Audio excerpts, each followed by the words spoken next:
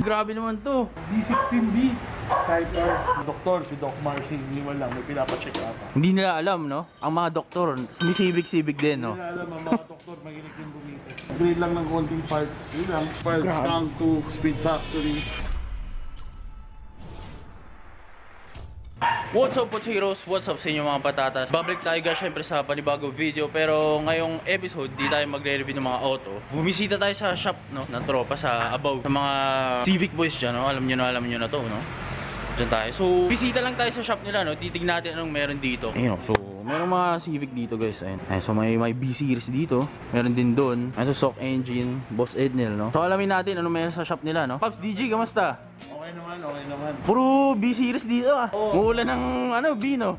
Mga customer ni Ednel yan na mga mini-maintain yung iba. Ga-upgrade sila ng mga parts sa engine. Actually, nag-start siyang above 55 RPM as an online shop way back early 2000. Depende talaga sa Ednel online through Facebook ng mga aftermarket parts. Kasi eventually, nagkaroon siya ng, nagkaroon ng ano yung mga customer niya na pag bumibili gusto install na. Nagtayo siya sa house niya ng ano, ah, yung parts na nabibili, pwede mo na rin pa-install sa kanya pag pinupunta siya ng mga customer niya. Then eventually, lumakas. So, talyer na rin siya. Napunta pa kami sa isang village. Bago dito sa Banawe, nakapag-alkila siya ng shop sa Marikina. Matagal siya siya doon. Bakit, ano, 5-5? Kasi doon ang, ano, B-Tech.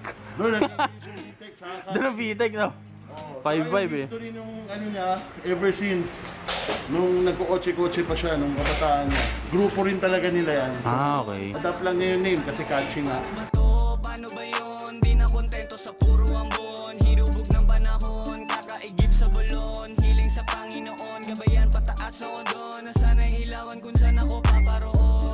Actually, lahat naman, boss, kinikater natin, maintenance. More na, na ano lang tayo, gaya ngayon, sa nakita dito sa garahe. Na ano lang talaga tayo more on Honda kasi, syempre sa Honda, sabi nga nila, marami ka na upgrade, marami ka na papalitan. Pero hindi naman tayo purely ano lang, purely racing, racing, ganyan. Kasi inaano rin natin yung car maintenance. Yung iba dyan, papamaintain lang, change oil, tune up, palit ng mga yung mga typical na nasisira sa kotse. Tapos at the same time, na-cater din natin yung mga may urge for, may need for speed na nag-upgrade, na papalit ng mga performance parts para makapa, mas mapatuloy yung mga Civic nila. Go, so kahit ano namang brand, okay lang. Kahit anong Toyota, brand, ganyan. kanina lang. Bago tayo nag-start, may customer tayo ditong Starix na nagpapalit ng brake pad.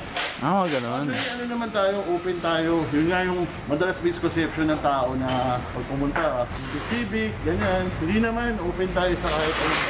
Basta kaya gawin, gagawin natin. Ah, mga change engine, palit trani, Yan, clutch, oo. ganun. Yan ang mga nag- ginagawa natin dito. From simplest maintenance sa tune-up, doon sa malalaki na engine rebuild, palit ng engine, palit ng block, and so on, ganun. Palit ng ano, filter, mga ganun. Oo, lahat. So, ba- from basic to ano, ganun, Basic, kaya. Doon sa pinaka-complicated na ano ng makina na gagawa. So, one-stop shop, parang ganun. Oo. May binibenta rin actually. Mamaya boss. Ayun sa taas. Makita mo yung showroom ni Edwin doon ng mga parts. Di lang sila kaibigan, kundi sila ang aking team Ngayon pa lang nadadama ko ng aking dream, yeah So, papi, itong kotse ni Boss Ednel. Oo, personal SIR ni Edwin to. Ayun, no? Ano, kakaiba eh, no? Papi, anong meron dito? Sa Civic niya pala. Tax kit naman yung makina ni Ednil kaso nakuha niya kasi to Japan surplus B16 B-stroker siya Toda spec doon displacement nito eh on B16 eh 81 1.6 siya dapat. 1.6 ito 1.8 1800 ang il- pangilalim niya pero stock yan stock lang lahat oh, Stock declare. stock pa Ito, stock talaga to. Talaga to kasi nakuha na to sa bo sinampa lang Ay, no. Pero, pero papi, ang ano, no? Ang aliwalas tignan, no? Oo, ano lang siya kasi part din ng ginagawa natin dito, Paps, yung ganyan. Nagsisinchromate tayo ng mga bolt para pag nag-mount tayo, yung ibang customer kasi piniprefer nila ganun. Malinis tignan, no? Ang maganda dyan, papi, pag malinis, kita agad ang tagas. Yun talaga. Kita ang mga tao. Kita ang tagas, pero ito wala, oh. Oo. Grabe. Parang pwede maghapunan dyan, ah. Oo, personal car ni Ed. Grabe. Binuo niya to, ano, ah, mga 2 years din. Two Nabili years? niya to una shell, shell lang, tapos sinunti-unti niya. Parang ano lang rin, parang demo car na rin ng shop. Pero ito, papi, sabi niyo mo kanina, garage queen. Oo, oh, hindi, hindi, Hindi nilalabas. Hindi ginagamit yun, madalang. Pero may personal car pa si boss. Meron, ang daily car niya eh, Nissan Navara na brand new. Ayun. Pero ito, dito lang talaga, no? Mm, Start natin. Parinig nga niyan, papi.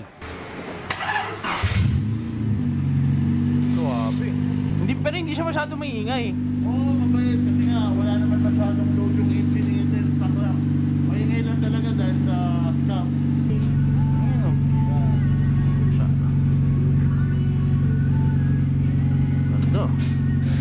Ilang ginagamit tong SR ni Boss Ednel? Napaka lang. Swerte na siguro. Huli ko nakita to. Last year pa itong Honda. Ayun, ganun na. Yun ang basic ano. Ganun siya. Tamang painit lang. Garage queen dito. Hmm, So ito, Rega Master Papi do. oh, Paps. Riga Master, actually, dead match copy yan. Naka-slatted rotors na saddle, tsaka naka-wheelwood caliper. Ayun. Yun, ano. Papi, ano masasabi mo sa mga ano? Siyempre, Matic, Honda Boy, Spoon, tsaka Rega Master agad eh. No? Oo. Yun agad ang ano, starter pack no. Yun talaga, yun talaga ang pinaka-basic sa atin. Tsaka CE. Tsaka CETE, Ayun. yan. Ayun, so isa. Dalawa. Ayun, spo- ito dalawa. Tatlo. May spoon. Lima. Ang dami eh, oh. Oh, ito, ito, ano papi? Mag, ah, spoon din to. Oh, spoon yan. Oh, siya grabe. Ito, RPM. Ito iba yan na iba. Ikaw papi, anong ano mo? Anong auto mo? Ano, ah, 97 na Civic Bigote color white. Ano mag? CE. Ayun. Matik agad no. Ah, dead match copy lang. Ayun oh. Hindi natin kaya bumili ng urik. Actually, ito, ah, Tignan nyo na lang kung sino yung nakaabante Kita naman kung sino yung nakadiamante Dami ni Sa Kaya hatchback. maling pinigyan Tapos gusto niya magpa-build kay Ednil ng engine na single cam, kabitan ng mga konti performance parts. Maganda ang ano papi, puti. Tapos biglang pag Oo, gusto niya blue. Blue, eh, no? So, pinapinturahan niya ng blue. Ayun, so ito ang gawa niyo papi. Oo, gawa ni Ednil. Tignan nyo naman guys kung gaano kalinis no. Upgrade siya ng mga onting gamit like intake manifold, throttle body, injectors, naka-camshaft din to. Yung transmission niya, naka-final drive, naka-clutch hip, na racing, gano'n. Mabigat-bigat din. Oo ba? Mabigat-bigat din. Medyo ano rin, medyo ginastos. Medyo malalim ang bulsa. Hmm, yan. Ay masasabi natin ano, for the love of sock. Ayun, save the sock no. Save the sock talaga. Ito papi, pasilip nga na loob na ito. Oo, sige pa. Ito EG no. Easy, easy. Ayun, RPF. Hmm, bucket seats. Panlaro ba to? Actually, hindi ko alam pa, hindi ko pa nabibig ng order eh. Pero walang laman-laman eh oh. Nalalaman natin pag umuwi na. Baka oh. may intention si sir na maitakbo sa racing. Oh, sa Clark no, sa Clark. Ayun. Iba talaga tindigan ng interior ng ano, Pab, sa EG, eh, no? Ayun, no. Sariwa ang pinto. Pero nakatint, no? Nakatin, nakatin. Ewan ko na lang. Papi, ito. Bigote yan, pero ang team nito eh Vision. Sino may-ari niyan? Si, ano, shoutout ko yung kaibigan ko, si PJ Kawit, Jace Ayun. Garat, siya ang owner nito. Jay's Garage, ayun, no? Project nila ni Ednel yan. Naka B16 siya. Pero alam ko marami pa silang gagawin, hindi pa tapos kasi balak ni PJ, alam ko eh. IPBs pa to eh. Engine niya before, soft pa to, naka IPBs. Nagpalit lang siya ng dock, tapos gusto niya naka IPBs ulit. Ayun. So, syempre, papakita ko ulit sa inyo gaano kalinis. Ayun, no. Grabe. Parang ito yung mga nakikita ko sa Instagram, eh. Maganda yung interior niyan, hindi kompleto. Dapat alam ko open yun. Basta itong kotse niya, Vision Team Car. Para siyang ano pa, ah, para siyang spoon. Ah, ganun? yan siya, Vision. Kumbaga sa Toyota TRD, Ah, Vision. Yan ko lang narinig yun, ah. Vision. So, ito ang loob, oh. Kompleto yan. Ay, grabe, lalim ng manibelo. Hmm. Kompleto yung kotse ni Papa PJ. Papi, kung ikaw, sok o dok, if given the chance, Siyempre, Dokta. dok tayo, no? Pero siyempre dahil kung ano yung meron, love your own muna. Pwede. Hindi naman, ano eh, no? Hindi naman, basta takbon chubby lang, no? Oo, kung ano lang yung meron sa atin. Chase Garage. Ito. Tip ko may lumabas na bumbilya May tumatawag sa pangalan ko Nakagat ko aking tiyan Papi, ano pangalan mo? Ninyo, ayun, oh, shoutout kay Boss Ninyo. Papi, grabe naman to. Ano naman na ito, Paps? uh, D16B type R. It's na oil cap, fake na radiator cap, strap bar, ang intake na pills. Mega Master lang, the 16s, the 5 lugs. Oh, yun pala, Papi. Paano naging 5 vlogs? Bakit 5 vlogs? Di ba ang stock is 4? Yes, so ang 5 lugs kasi from EK9 eh. So nalpakin natin para medyo mas maganda tingnan. Ayun. Ang mga mat matatinay nga mata lang ang makakapansin yan. Siyempre, spoon caliper. Yes, Oh. Speed. Oh, may bigat-bigat yan eh, no? Tapos lang Bobby, nagkaroon lang ng chance para makakuha. Oh, type R gauge ka rin. Uh, type R gauge, tapos grabe lang, feels na horn button, pati shift knob. All stock lang talaga siya, papi. Kaya wala namang iba. Linis lang at may saktong bilis. At saka daily driven naman siya. Papi, mahirap ba maghanap ng ganitong zigzag? Sa ngayon, ang pagkakaalam ko, papi, medyo mahirap na siya. Usually kasi mga naka-bucket seats eh. Mga SR3. So ako, mas pinili ko siya ng all stock sa loob para at least medyo andun pa rin yung Vibe, no? So, Oo, oh, ayun oh. Linis lang. Papi, salamat ah. Napakalinis na SIR. Eto papi, ano meron dito sa SIR na to? Customer ni Ednel na doktor, si Doc Marcy, iniwan lang, may pinapacheck up. Hindi nila alam, no? Ang mga doktor, sumisibic-sibig din, no? Hindi nila alam ang mga doktor, mahilig din bumito. D20 siya, stock-stock lang, konting upgrade. Hindi ni doktor tong SIR. Yan na rin naman yung engine. Kaso nung nabili niya, unfortunately, sira yung engine, kailangan siya i-rebuild. Napunta siya Ednel, i-rebuild niya. Siya na siya ngayon. Ano lang yan si Doc, more on maintenance. Ang tamang ano lang, no? Oo, pero may konti rin siyang part. In a bit, papopogi, carbon, mga ganun lang. Basic. Siyempre, spoon pa rin, di ba? Hindi mawawala. Talaga, favorite mags. Pero papi, si Doc, ah, hindi mo mapapansin. Naka-bucket seats. di ba? Ayun, hanggang likod. Kamo, oh. Tignan mo naman. Huh? Talagang doctor on call yan, si Doc. Iniwan lang siya. Hanggang likod, oh. Actually, yan, top maintenance lang yan. Ah, uh, lang ng clutch. Ayun, ang linis na ito. Pagod na. Papalitan lang. Maintenance lang to.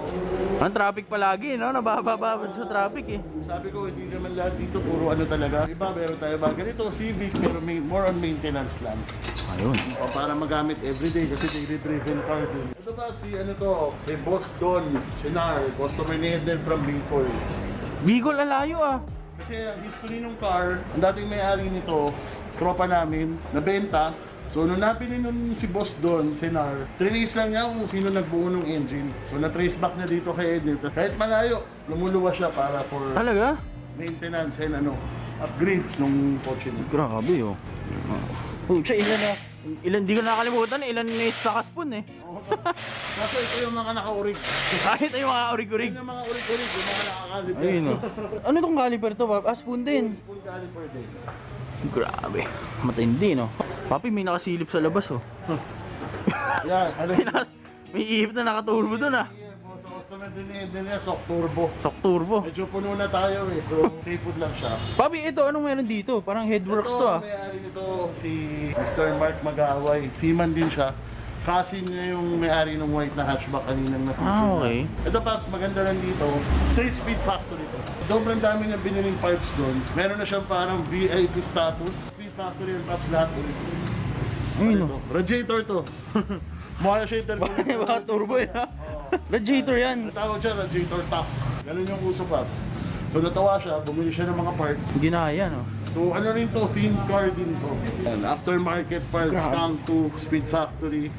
Ito, dito makikita ang synchronize, no? Yan talaga ba. Naka-ashport din siya. Ayun, okay ba? Pero orig, no? Siyempre. Oo, urig to.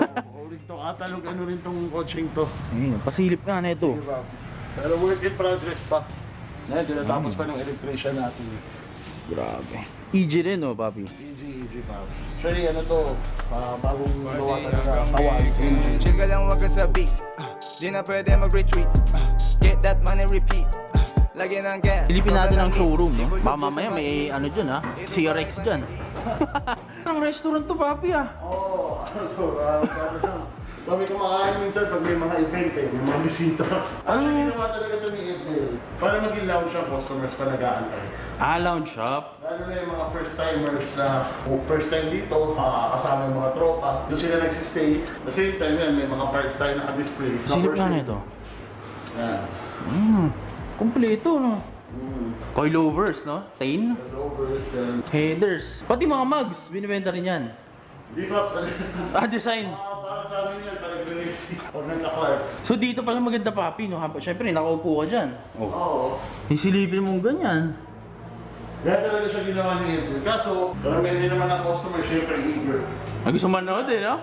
Ginagawa yung kotse nila. Malapit din sila sa kotse nila. Tingin silipin nga natin ang mga meron dito. Hmm. Steering wheel. Ano yan, Paps? Ah, feels sa intake tube adapter yan. Cover, Mga ram air. panel. Oh. Oo. Ito yung sample ng mga aftermarket parts, Paps. Mga strap bars, Oh, turbo. Turbo ng ano to, papi? turbo engine, Paps, sa Civic. Actually, mga ano yan, pabenta ng mga tropa. Yan ang ano, no? Sawa ka na pag gusto mo, ano, Oo, pag- bumanat, sawa ka na pumatay ng aircon. Sa all motor, pwede pwede naman mag-upgrade sa turbo. Kasi ang turbo ng NA, Pops, yung aircon eh. Papatayin lang na ganun. Oo, yun lang tayo. Mamaya ang bitik, ayos na. Ayun o, di ba? Siyempre turbo kit. Kung gusto nyo, andyan na. Ang maganda dun, Papi, pwede pa nila ipakabit dito, no? Yun, talagang ang lahat naman ng parts natin dito, pwede install, pwede natin ano, i-install. Labor-labor na lang, no? Or, Papi, may napansin ako dito. Oh. hmm. Hindi natatapos sa mga parts dito. Yan, Pops, mga ano natin yan. Ano yun, mga, tra- mga trunk. Mga, mga secret natin na pinsa, mga nasa bubong na. Wala na tayong mapaglagyan. Ay, oh. May mga gas tank, may mga bumper, pintuan. Oo. Siyempre, Motol, no? Shoutout sa Motol. Motor, oo. Papi, baka may gusto ko batiin. Shoutout, oh, shoutout muna sa ano, lahat ng kaibigan ng customer ni Ednel ng above 55 RPM tsaka yung mga future pa namin magiging customer dito sa Downshift Supply kay Carlo Apuno, Easy Fix, kay Corby Salazar, RL Auto Parts, kay Ron Lucero, kay Harold Canarias ng JDM USDM Auto Parts, kay Abraham Salabsab ng E3C JDM Auto Parts. Shoutout ko na rin sa ano natin yung mga tao natin Ayun, no? dito sa shop, si Nick, si Raymar, Ayun, si Boss Raymar. si Kuya Larry, Ayun? Nandiyan si Kalaywan. Ba't kalaywan? Dalawa yung Kalaywan. Kalaywan. Ayun, no? si Kalaywan. Ayun, no? Yung mga masisipag na mekaniko, Paps. Kasi kung wala rin sila, wala rin po. Ay. Man madalas nababanggit pero sila rin talaga yung workforce ni Ednel dito. Katulong ni Ednel araw-araw sa paggawa. Naluluha ako, Paps. Hindi kasi syempre vital ah, ano, ang mga mekaniko, Papi, no.